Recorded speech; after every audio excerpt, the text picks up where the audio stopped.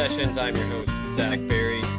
We are here once again this week talking college football.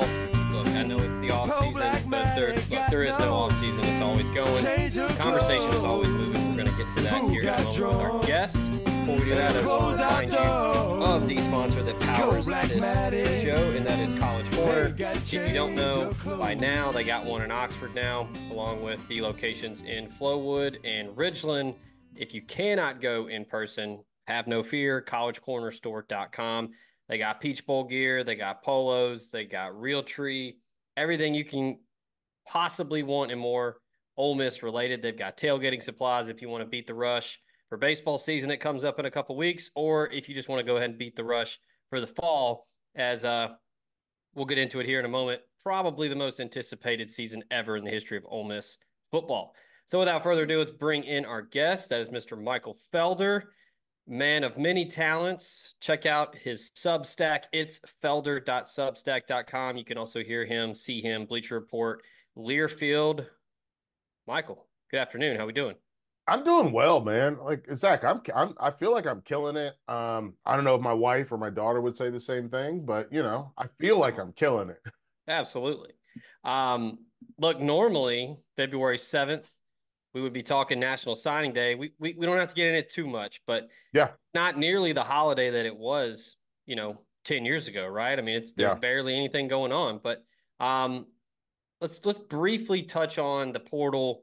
And We don't have to talk about specific players, we probably will, but just in your eyes how it's evolving and it's changing the game. I know Kiffin was kind of at the forefront of leading the way for, you know, quote free agency in college football, but over the last couple months in the last year or so, how has it changed how you view college football and how you cover it? It's it's gotten a lot harder. And I listen, don't cry for me, Argentina. I can live with it. Like it's fine. Um, the the crazy thing, and let's let's put it in. Let's you know what your listeners are Ole Miss fans. Let's put it in perspective. They are the number 17 recruiting class overall this year. But according to the kind of the, or excuse me, 21 to the composite, but Mhm. also the number one in transfers. Yeah. So they have guys that are going to walk in. They have grown men that are going to walk into that building and go play football. Yeah. And this is after losing a guy who I thought, I think he's probably the best transfer in Judkins, hmm but they still are number one overall. So I think that matters. And I think it's, it's made things change. I think Lane Kiffin, Deion Sanders, to me, those are the top two. And I guess if we're going to talk about it, let's, I, I'd rather do it off the top, Zach, if we're Yeah. going to do it, because we also had two major shifts that led to other shifts in college football. We had Nick, we had Nick Saban retire. Yeah. We had Jim Harbaugh uh, move to the NFL. So those guys, and the, but let's not forget, they both played in national. They played each other in a national semifinal game. Yeah. So they they signed kids in December that signed up to play for them, and then those kids are like, who? Can you imagine? And you're you're down you're down there. You're in the South. You listen. You cover Ole Miss. Like, can you imagine? You wake up in the morning and Nick Saban is gone, the guy you committed to play for, and then you're like, who is Kalen DeBoer? Who is I I keep putting an S on his name because I'm like, who is Kalen DeBoer? Who is Kalen DeBoer? Yeah. Who is this guy? I don't I don't know. In the words of Mariah Carey, I don't know him.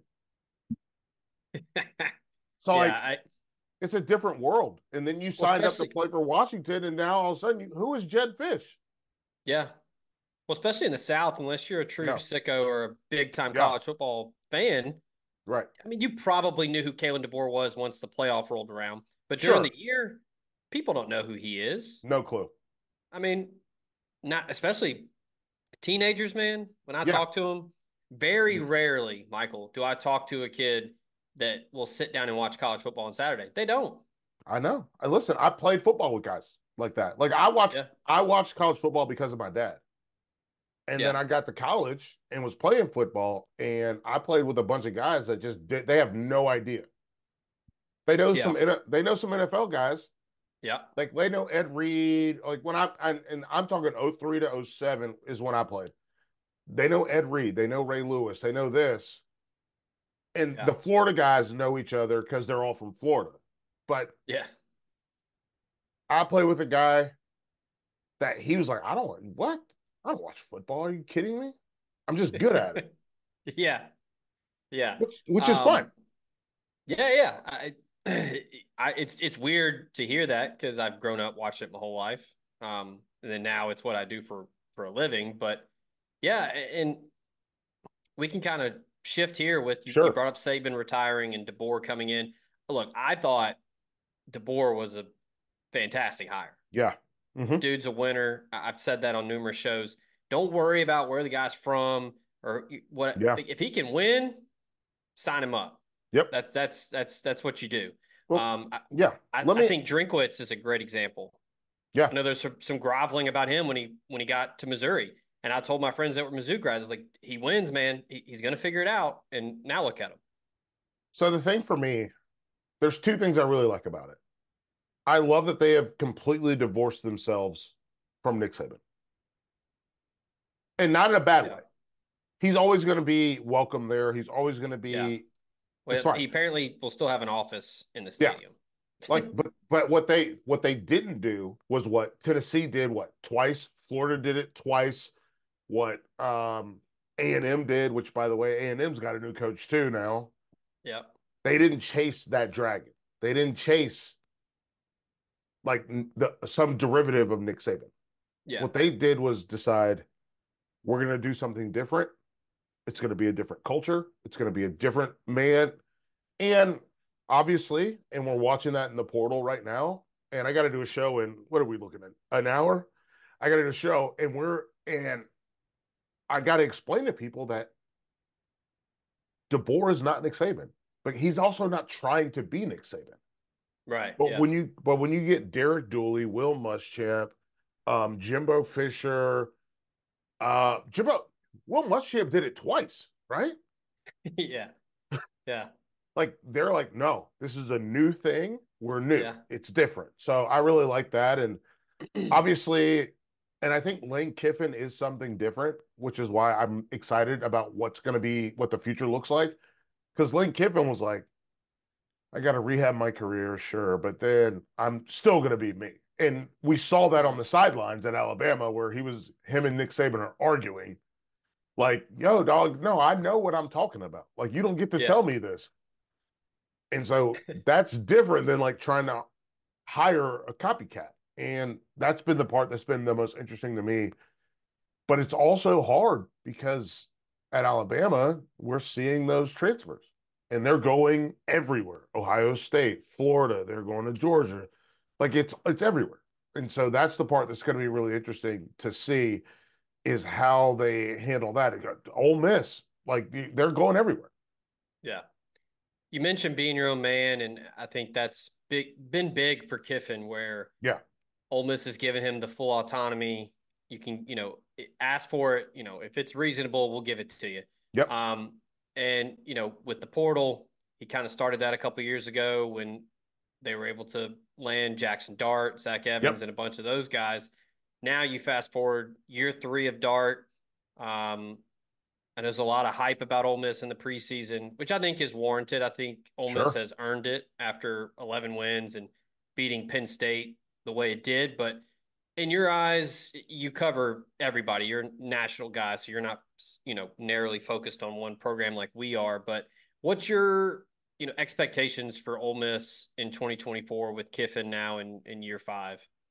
I think it's it's weird because if we go into it, we still expect Georgia to be like at the top top. Yeah. And then you got scram- a scramble drill in those those next three spots. hmm And those next three those next three spots, I don't trust what I have at Florida. No. Don't trust what I see at Tennessee. Yeah. Which all all this stuff percolates Ole Miss higher and higher. That's the way that I look at it. Like that's and I know it's not the way that everybody else looks at football, but that's the way that I look at it is like, how does this work? LSU, they got to find a quarterback. What's Mhm. going to happen? Gotta fix the defense too. Oh, that defense was absolutely booty. Um, I don't, I don't have a problem saying that they were bad. Yeah. Um, and then we got to look at A and M, new coaching staff, Mike Elko. They're also in the portal. What are we going to do with that? Alabama, new coaching staff, and a new coaching staff that I don't like. Somebody's I mean, maybe it's Milroe. I don't know who it is. Somebody's going to have to galvanize the rest of that roster because they already got guys that are just gone. Yeah. So why not us? Why not now? And I think that's the thing. I think about that a lot with football, with all with Ole Miss, with um. I think about it with UNC. I, that's where I play. I play at UNC. hmm Why not us? Why not now? And if you can't do it now, when are we going to do it? Yeah. And that's the thing I think about. Like, you should be in Atlanta this year. You should Yeah. be in Atlanta this year. Um, Auburn is a problem. What they're doing in the portal is also like I wouldn't. I think it's it's not comparable, but it is a problem. Yeah. Like what they're able to do is has been interesting. Their but- quarterback situation is intriguing. That's that's what I was gonna say. Got to figure it out. like they they're you're missing a huge piece. Yeah. Like it's like it's like if you when you go and buy like a chain and you like don't have like the diamond encrusted piece that goes at the middle and you're like, but the chain is so nice. yeah. Like, yeah, but what about this part? So I just really think that I think Ole Miss like this make a run for it, go for it. I'd I'd I'd burn my tires out. And that's the part that's gonna be really interesting. I mean, I mean, can we you wanna let let's go down the list, man. We got the Amos kid from Alabama. You got a couple kids from Washington. You get some kids from Tennessee. Like we're looking at guys that can play. And I know they can play. You throw in Logan Diggs. Logan Diggs is an interesting piece to me Yeah. because this is the guy um like he's plug him in. Like you he's gonna have to play immediately anyway. And I think you're buying back time, and you correct me if I'm wrong, but it feels like they're buying time for these young guys. That's what it feels like to me. Yeah, because the last couple years, it seemed the the theme has Ole Miss has adopted experience and you know older guys, so not just young guys Yeah. that have played a lot, but they want to get dudes who have been around. So Yeah. You look at if we go down the you mentioned Diggs, Yeah. played at Notre Dame, played at LSU. He's Mhm. got to get the knee right, but they expect him to be ready once conference play hits. But Mhm. Walter Nolen, multi-year guy at A&M. Key Lawrence, multi-year guy at Oklahoma. Brandon Turnage, multi-year at Bama and Tennessee. I mean, you go down the list. Prince Umanmielen, the number one edge in the portal. Dude, the- he he's been around the block. Yeah. You get the two guys from Washington that played a ton of football on the Joe Moore award winning offensive line. Yep. Um, I mean, it's pretty much the theme all the way through outside of Amorion Walker, who was per Jim Harbaugh. When I talked to the Michigan guys at the On3 site, they said Harbaugh loved him and he got hurt. Um, but they were really pushing him to make the switch from wide receiver to corner. So that's, you know, the one lone young guy. Everybody else, ton of football under their belt. So, Yeah. yeah, it's a good way to They're buying bridge the- time. yeah, to bridge that gap between a, a green freshman being thrown in the fire, where hey, you're not going to be thrust in there immediately because we got this dude that's playing his fourth or fifth year of college. Yeah, you're you buy time, and this is something basically for me at least. I think about this a lot with like Wisconsin, with Iowa. Mm-hmm. They bring kids in, and those kids they don't play at all. They just hang, they they work and work and work and work, and then when they're a redshirt sophomore, you're basically you're getting redshirt sophomores, redshirt redshirt juniors. and I think that's a like it's a re what is it? A rebalance of, of sorts with college football. Yeah, where I don't I don't think most coaches are built to do this. yeah, I think most coaches are built to tell a promise that and the problem is they're built to promise a kid something. And then once the kid gets there and doesn't get it, that kid leaves. Right. But in the process of that, the next guy that gets them is also getting a guy who is actually they do have some miles on those tires and they're ready to rock and roll. And I think mm-hmm. that's what we're seeing. And that's been a very I don't know how to I still don't know. I'll be honest, I still don't know. Zach, I still don't know how to talk about that. Because the kids yeah. aren't the kids aren't running away. The kids aren't running away from from from pressure. They're not running away from hard work. They just got promised the thing. And then they were like, I didn't get that thing.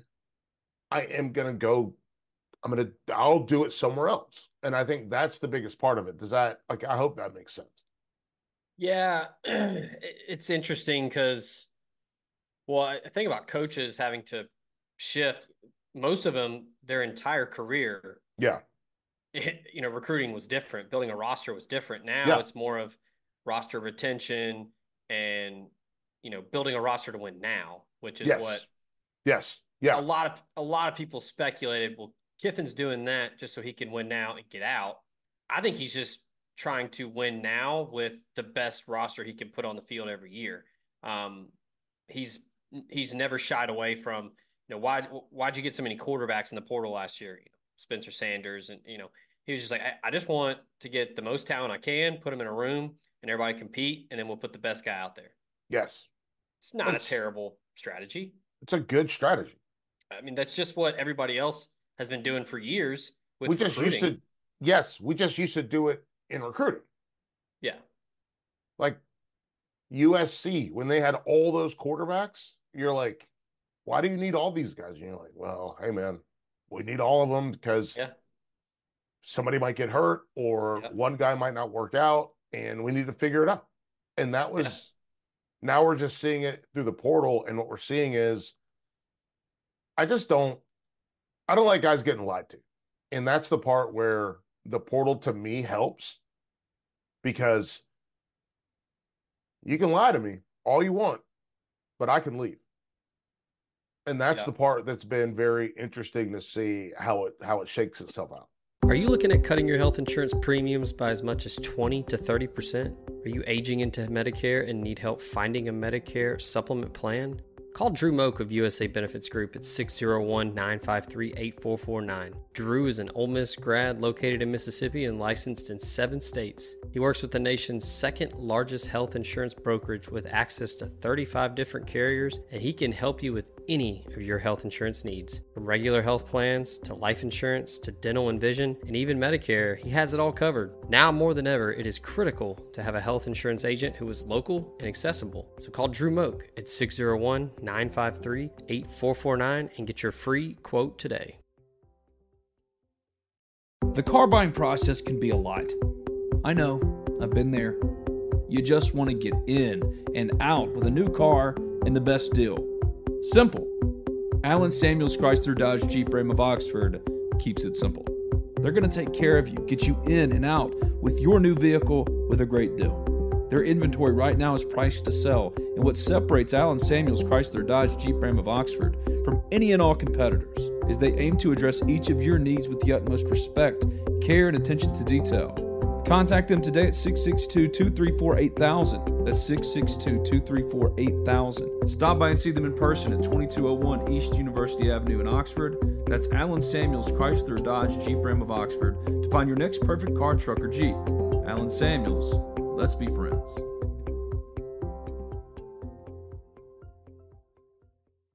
And then if you lie with NIL and the portal and collectives, yep. word gets around if you lie or if you yep. don't keep your promises. Um, so that's a big thing now too, where you got to be on the same page with your collective. Um, I think Ole Miss has done a good job of that. There's been some other mm-hmm. collectives around the country that have done a nice job, but there are some out there that haven't kept promises. Yep. Haven't haven't paid in full. I mean, um, we what? Who's the kid? The Miami kid that went to what? Arizona State. Oh, Jaden Rashada. Yeah. Yeah. Yeah. The whole thing with Florida and yeah, bolted and went out somewhere where they would pay him. So, um, yeah, I, I think I, I kind of have this mindset of I don't really complain about it because Sure. It doesn't matter what I think. I still have to cover it. Um, but I kind of like it because I, I think it's good for coaches to Have to know, you kind of see. Yeah, yeah, you have to work. Like you, you, you got to work nonstop. I mean, you see announcements from collectives of re-signing guys that are on the team, and people are asking me, "Well, was that guy trying to leave, or no? Yeah. He's just re-upping his deal. Like that's Yep. college football in 2024 now." Yeah, I I just I'm never gonna feel bad. Like I'm never gonna feel bad for Dabo Swinney or Nick. It, uh, not now, Nick Saban or Lane. I'm even Lane Kiffin. Like I'm not gonna feel bad for them when a kid is like, I didn't feel comfortable there. I didn't like it. I I, I have to go. Like I'm not gonna feel bad for them. You have to work harder.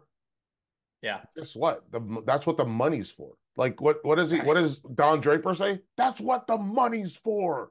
yeah, Like it's like, yo, that's what the money's for. Like the money is so that you do the job to make sure that we keep this guy here so that we can keep playing and we can Yeah. keep winning and we can go play for an SEC championship or a Big Ten championship or a national championship. That's what the money's for.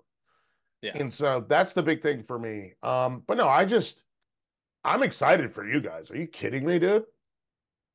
I'm I- pumped. so I don't know if you have the schedule pulled up, but we don't I have to pull go up to, right now. we don't let's have to do we don't have to go through the whole thing. But to me, this season for Ole Miss, the two games that are the toughest, in my opinion, are at home, Georgia and Oklahoma. Yeah. I think you split Oklahoma's those. interesting, man. Yeah, because they got the uber talented uh, quarterback coming in that played in the bowl game. Uh, Jackson Arnold I mean, just Mhm. oozes talent, but what's he going to look like as the guy? Yep. Um, you know what Georgia's going to be. It- It's at it, it for Ole Miss. It's at home, but you're you're going to be you're- going to be an underdog in that game. Probably not winning. If you split those two, and then find a way to ten and two, I mean, you're Oh. looking at you're in the playoff. 10 and, And- 2. And you mentioned the LSU issues at quarterback. Yeah. It's it's it's in Baton Rouge, but on paper, Ole Miss is the better team. yeah. You've got the more complete team. I mean, I think this is arguably the best team Kiffin has had going into a season. You got a third year guy quarterback. Yeah. You got a third year wideout in Jordan Watkins, who has Mhm. turned himself into a dude. You get Tre Harris back. You get a ton on defense back. And then you get everybody in the portal. I I mean, I just it's the Judkins I just am so Jud I'm just so that one hurt, man. yeah, and I mean that again, like that's the money. I mean, Yeah. wanted Yeah. more money, and Ole Miss just hey, we're going to allocate resources elsewhere. If you're not happy, And they did a good job. They did a good job of that. So yeah, no, we're looking at that. I hang on. I don't mean to de- I don't mean to deviate. What do we think is happening at Arkansas? Man, um, I, I'm of the opinion if you don't think that he's the guy that can get it done, you make a move. So I don't. Yeah, I mean, I don't Yeah. like the. Well, we'll extend you one more year to see if you can figure. Yeah. You know, try to get a coordinator like the Petrino thing. Yeah. You know, at, at this point, uh, and you know, everybody's like, "Well, Petrino's probably just going to get the job if they fire Sam Pitt." Well, just hire Petrino. Yeah, like just fire Pittman and hire him now. I, I that Yeah. sort of thing, because then you're just you're just putting yourself back a year again. Um, no, what's what, what's that team going to look like without KJ Jefferson? That's the big That's- thing because yeah. yeah, I that love dude him. single single handedly won them games, kept them in games Yep. but they lose a ton on deep. I mean, their their best linebackers at Ole Miss now Mm-hmm. in in Pooh Paul, and you know you lose Jefferson, you lose a ton on defense. Yep. Um, Secondary is almost completely gone. Yeah, and new new scheme on offense. I, I don't know. I, I I I Sam, agree. Sam LSU Pittman fell off big time. Yeah. LSU. So what are we looking at? We're looking at LSU. We're looking at Oklahoma Those are probably Georgia. outside of Georgia. Those are the big ones. Yeah. Um, so it's going to be rough. I mean, Georgia to me, they, I think they really know who they are. Even losing Bowers, even losing Ladd McConkey, they know who they are. I think Yeah. LSU LSU, the problem with the LSU game is, is it's in the middle of October. Yeah. What's the And- health look like at that point? No, not health. It's going to take LSU a month to figure out who they are without Jayden Daniels. Yeah. But you're this game is at the at the end of that month. This Yeah. game's in they've they've already played September. They know who they are now. And I do say this, Brian Kelly is a very good football coach. And I don't think folks give him enough credit for it. So that's going to be interesting. Um, Oklahoma. I still don't know what Oklahoma is going to look like in the SEC. Mm-hmm. I just I don't. I have no clue. Like when I when I when I look at Oklahoma's schedule and go through it, it's like, man, what are they gonna like? What are they gonna do? Two new don't- coordinators, Yeah, new quarterback. I mean, a lot of question marks. That that's that's kind of my thing with Ole Miss yeah, is Ole Miss doesn't have many question marks. right. And that's And- what you that's what you want. Right. A lot of And- known commodities. You want to know? Yeah, you that you said it in a way more intelligent way than I would say it. because I would just I would say I just want to find I need answers. I want answers. That's all I want is answers. And Oklahoma, even with the Dillon Gabriel like transfer, they feel good about Jackson Arnold. Let's rock mm-hmm. and roll. We're gonna do it. Yeah. And Venables, I Venables to me is someone who I like the way that he coaches. He, if I had to put my top five favorite coach now that Saban's retired, if I had to put my top five favorite coaches out there, Venables is is is, is like is, no order, no order, no order. I'm just saying my five guys that I always am looking for, guys that I always want to watch. Venables is one of them because he he takes guys out of the game. He'll pull you. He'll put you on the bench. He don't Mhm. care. Yeah. Lane Lane is on that list for me as well because I love that Lane. Lane is like the Loki of coaching. Like, and I don't mean that in a bad way. Like, I just I remember watching him when he was at USC and watching him play Hawaii, knowing that he had big games coming up, and he'll just be like, "Hey, man, we're gonna do this play. I'll never run again. But guess what? You're gonna have to practice against it." Yep. So you're wasting your time. I know I'm never running this play again, but guess what? You need Yeah. to. So I love that film about him. It's on film, right? It's on tape. And so him, Venables, because of the discipline, Lane, because like that would do you know how nuts that drives a defensive coordinator, what Lane Kiffin does? It makes you feel Oh, like yeah. a psycho. Because you have to chart it, you have to put it in the Yep. game plan. Yeah. Um, Kirby Smart and Kirby is specifically because I mean I can't put Nick Saban in there because he's not coaching anymore, but he's the only one that fits the bill. He's the only one. Um, and then I, I would if I had to pick, I got to pick two more guys. Oh my God. Oh, jeez. Those are my three. Malzahn is a psycho. I love him. Like he is. Yeah. His ability to like move pieces around and make people do stuff. And then I'll probably go James Franklin. Okay. Because Franklin Franklin makes you think so much and then he does nothing.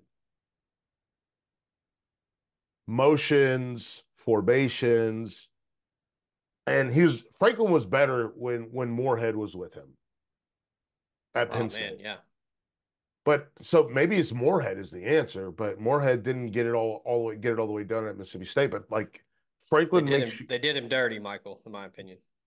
I uh, yeah, I I was agree. a I was a huge Moorhead fan when Yeah, he was at Penn State. His story is pretty cool. yeah. Um, But that's those are my I, I love those guys that like make you move around, make it hard. Like, oh, Jeff Tedford too, which by which is why I oh, like oh yeah. Kalen DeBoer. I sat, I was at the opening, and I know I got derailed. I know we got to go, but I I I was at the opening. And it's the opening when Davis Mills was there. The Dylan McCaffrey, maybe. And I would listen to Jeff Tedford explain cover two. And so when you play defense, you get explained cover two and where the where it's all in front of you. Mm-hmm. And then Tedford explained it where you're behind everybody. And I was like, oh, this guy's a son of a bitch. Like he's gonna this guy's killing us. He's like, this guy has to be here, so you go here. And you this guy has to be here, so you go here. And the linebacker can't run with you, so you go here. And I'm like, Jeff Tedford is like, this guy's a genius. And so DeBoer going to Alabama, that's what you're getting. Alabama Mhm. fans, that's what you're getting. Yeah. So last thing, um, Yes, sir. quick thought on Kiff, Kiffin had a quote. I don't have the direct quote in front of me, but I can kind Sure. of give you the the gist. After Ole Miss gets destroyed by Georgia Mhm. in November, he pretty much said, "Hey, we, we got to recruit better. I got to coach better. We got to get better in the trenches." Um, Yep. Big boy. I know he's. You said he's one of your favorites, but how honest do you think coaches are like that across the board? Like, do you think there are many that would just come out and say that in a I do. press conference after losing like that? I do. People aren't always going to like it, but at the end of the day, the reality of it is that he knows the same thing with Dion, right? hmm Not big enough. And you got to get bigger. How do you get bigger? You can't get bigger. And we we hit on this earlier in the show, right? With Iowa and Wisconsin. It takes them three, four years to get those guys big enough to do it. I I'll say this from ex- I'm not gonna say experience, but my wife's cousin played was a starting left tackle at Michigan State. When he got to school, he weighed 265 pounds. And he they just put him on the bench and just let him grow and grow and grow till he was 290. That's two years. Takes two year two years to get to 290. Yeah. What's Lane? Lane is hitting the portal. I got to get Yeah. some bigger guys. And so I think he is being honest about it. I also think that honesty, I don't know that if I always love it because we saw it with Dion as well. I just, yeah. I want to, I want to, I, I, I am, and obviously you, you're dedicated to high school recruiting, right? Mhm. it's hard to watch these guys. Like today should have been a huge day for a lot of guys. Yeah. And they have to make business decisions. And we're also going to see other guys make decisions. But these, like a 275 pound guy, he should be able to go to Ole Miss and in two years be a 310 pound guy. And that's the part that I, I and I don't, I'm not trying to ruin anything. I just, I think that's the part that gives me pause about the portal. And it's not because of the portal, it's because the coaches are looking for the easiest way to get to the solution because the coaches are looking for the way to get the win. Yeah.